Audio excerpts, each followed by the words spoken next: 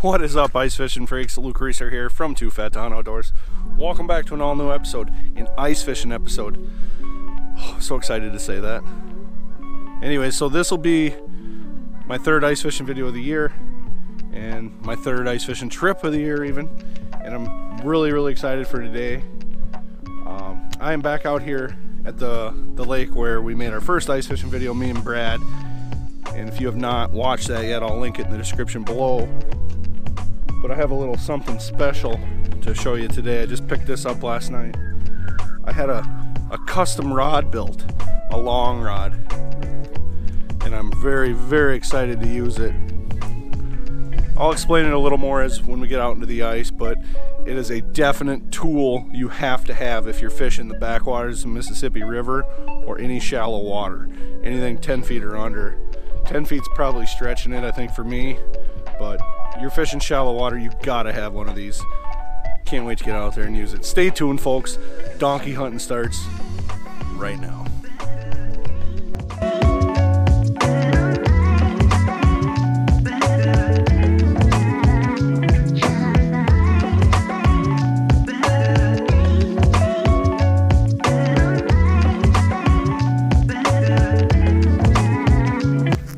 All right, folks, I got the long rod here. I freaking love this color. This is amazing. Thank you so much to my buddy Dan for making this for me. This is a custom six foot line through ice rod made by Shocker Ice Rods in Wisconsin. Made by one guy in his shop, handmade, completely handmade, assembled with quality top of the line parts. Anyways, if you have never used one of these, you don't reel the fish in with a reel. You pull straight up out of the hole. That's what makes it so handy for hole hopping in shallow water. But anyways, first thing you do is pull this little reel handle out, loosen it up.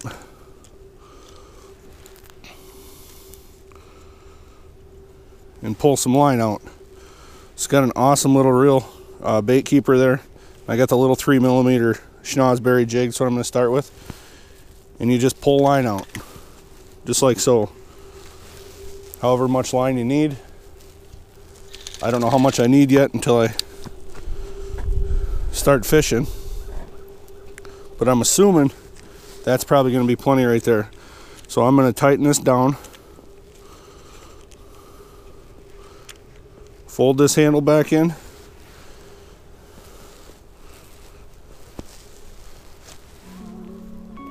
Got my jig here. Pull out my puck. Grab me a waxy.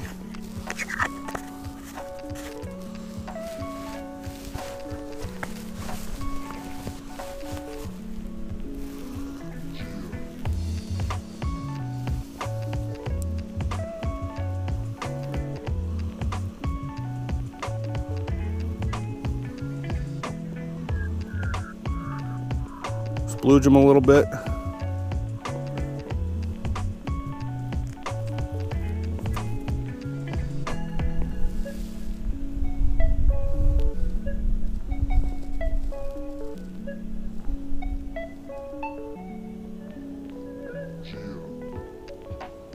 All right.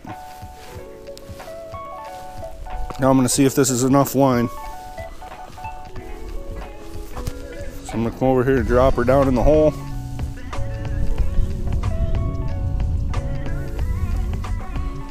Plenty of line, I might have too much out.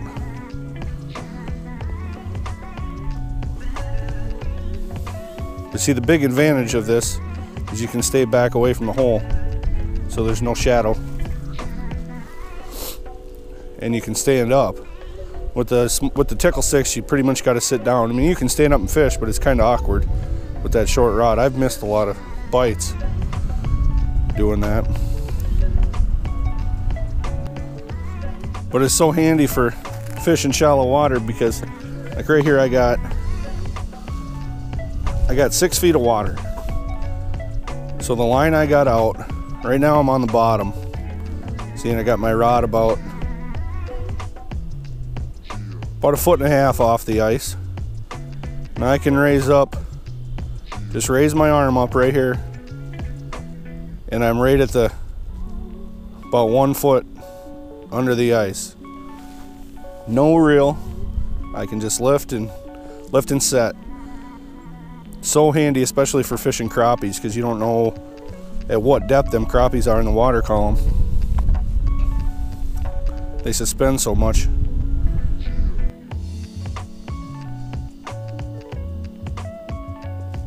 There we go.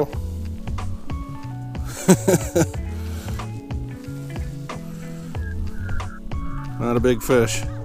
Tiny little bass.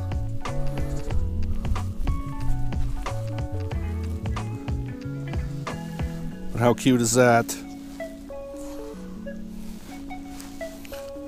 I gotta send a picture of that to Dan. So I felt that pretty good all the way back. That little fish, he thumped her pretty good. So if the bites are gonna be like that, oh my gosh, you can really feel them.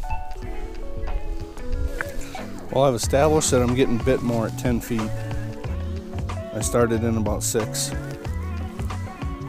And I couldn't mark any fish. And I moved to about 11 feet and I couldn't mark any fish, but every hole that I've been in about 10 feet, I've caught fish or got a bite in. There's another one. That one feels good. Oh yeah. Oh yeah. That one is digging. Yep. That would be a keeper. Bam. You betcha. Finally. Finally a decent one on the on the new rod here. Probably an 8 incher, if I had to guess.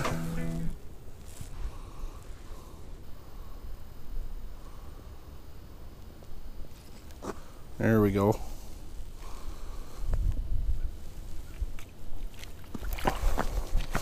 Tangled up.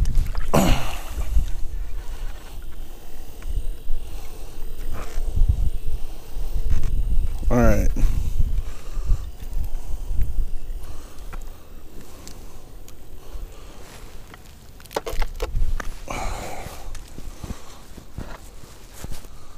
See what you are. I don't think you're a keeper. Pretty close. Wax worms. Yep. Nice little fish.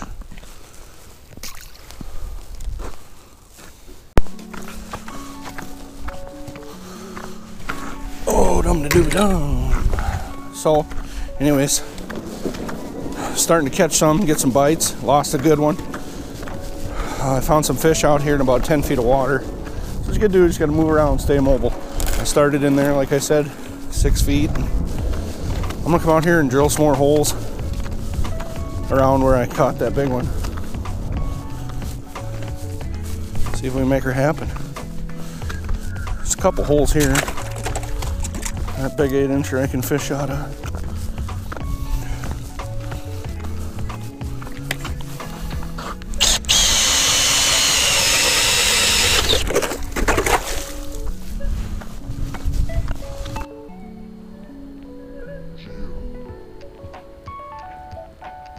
There we go. Feels better. Oh. Oh. Good fish. Good fish. Stay pinned, buddy.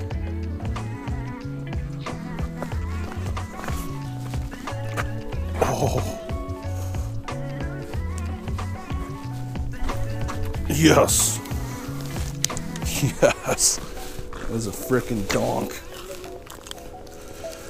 That is a freaking monster.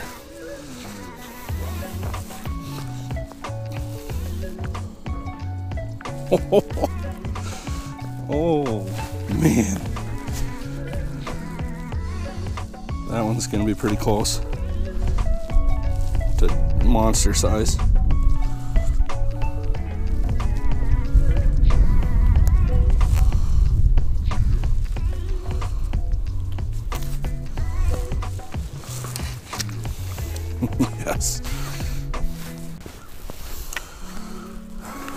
All right, folks. Well, I was a little worried that you wouldn't be able to feel the bites very well. And I know that spring bobber, that's what it's for, is to watch it. But I still like to feel the bites, especially when you're watching your Vexilar and trying to watch your rod tip. And I am very, very impressed in the sensitivity of this rod. You can feel it all the way down to the end of the rod. And fighting a fish on this thing is unreal.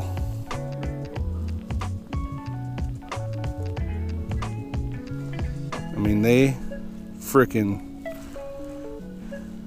are pulling those big gills. That one I just caught is a freaking slab. But, oh, it's fun. You gotta get you one of these. There we go. Feels decent.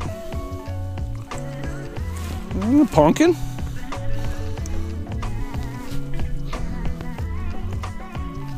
Little pumpkin.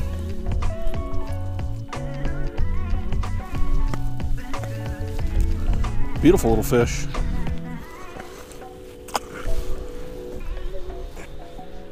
All right, I forgot I had the gaff in here with a ruler on it, but the smallest measurement is 10 inches. I don't think this bluegill's gonna go 10. But oh, he does. Look at that. Right exactly 10 inches. Freaking awesome. There we go. Oh, a little bigger, but not super big.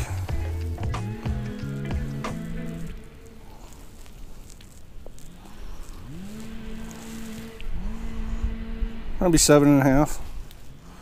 I think I'll keep him just to eat that. So I have something to eat with that other one. Pretty slow right now.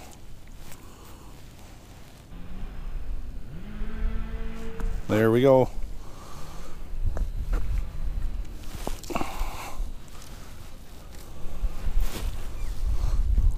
The old big hole.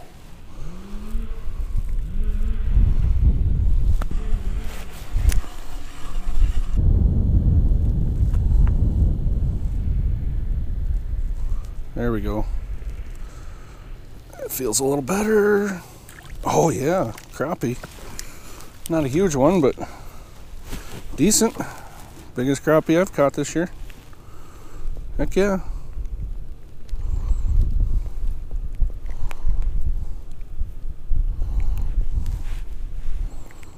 You bet.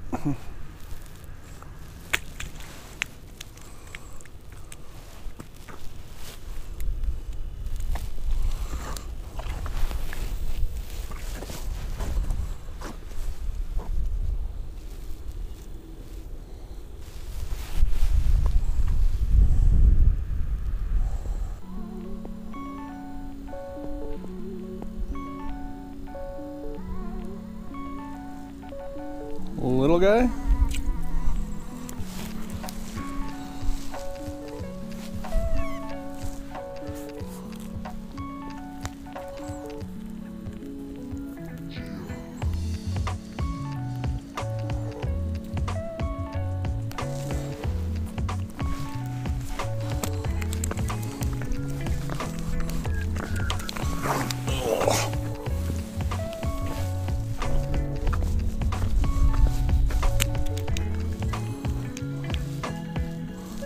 Changed my mind.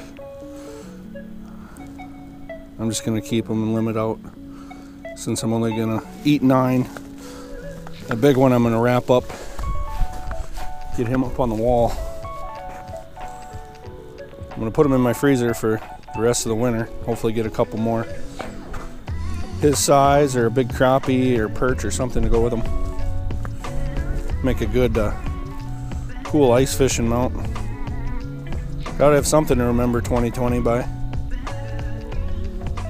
There's a lot of things in this year I don't want to remember, so look for something good.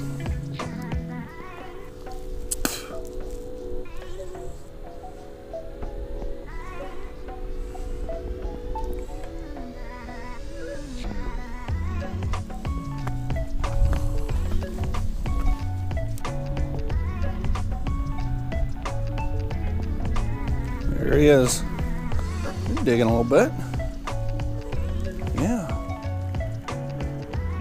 He does not want to come up, does he? Yeah, nice crappie. Another crappie. I'll take you any day of the freaking week. You guys know how much I like crappies and how not often I catch them. You know, not a huge one, but he'll eat. A seven.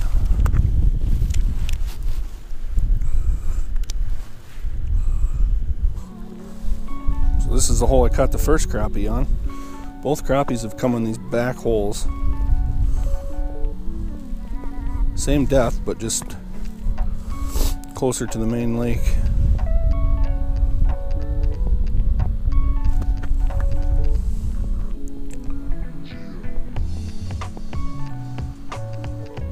There's one. Little crop. Little crop, little crop, where are you?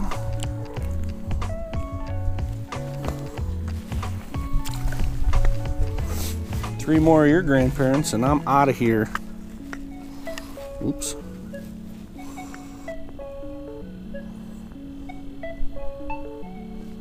There we go.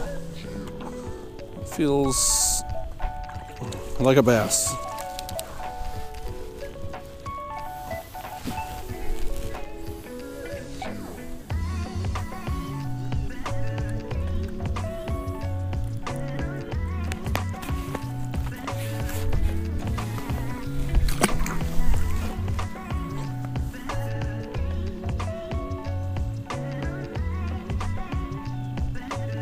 Is.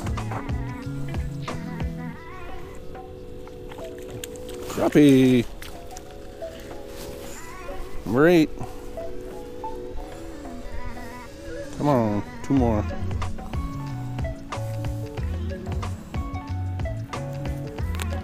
It's just kind of slow bite, but they're eating the frostbite jig today.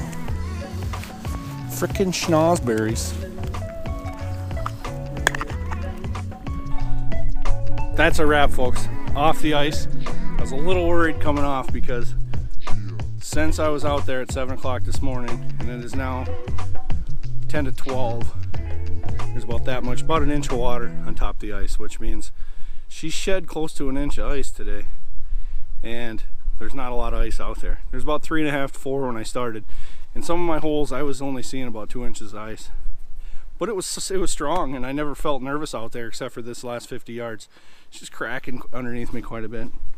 But anyways, yeah, this is the best day I've had out here this year. Um, I going home with eight keepers.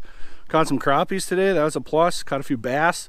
And I got my first 10 inch bluegill of the year, so I'm freaking jacked up about that. It was a freaking hog. Can't believe I caught it. It's been, I don't think I got any 10s last year. Got a lot of nines, nine and a halfs. But yeah, I was very excited to get that. I cannot tell you enough how freaking impressed I am with this rod. Shocker ice rods, baby. That's where it's at for shallow water fishing. I love my tickle sticks, but for this kind of shallow water stuff, you cannot go wrong with this. I can't believe how sensitive it is and how much you can feel. And just being able to just pull the fish right out of the hole. And it's kind of nice to stand up the whole time today. I'm used to sitting down in the bucket, but I was standing up the whole time. My back don't hurt. And uh, just the pulsation of this rod it being it's six footer and it's long you don't even really have to work your jig. You just hold it and you can't hold it still. It's like physically impossible. It's physics. It's science. So no matter what your jig is moving. And then you add a little pop into it and she's really going. And I think that's why I triggered some of them bigger bites today. But I love it with the Winn grips. It's freaking awesome. So you can't find these online Dan does it all out of his shed so if you want one like this, that's freaking sweet. He's got four of them made up. They're gray. So where, where this is green is gray and then black and then a gray blank. They're freaking awesome. If you're in the market for this type of rod, get a hold of me because Dan has them four gray and black ones that are ready to go. First come, first serve. They're not going to stick around long. They're freaking awesome. Ice is here. Get one. If you have not yet subscribed to Too Fat to Hunt Outdoors, go ahead and do that right now. Hit the bell to get notified every time we put out a new video. Destroy that thumbs up button. Luke Reeser signing off. Always remember, you're never too fat to fish.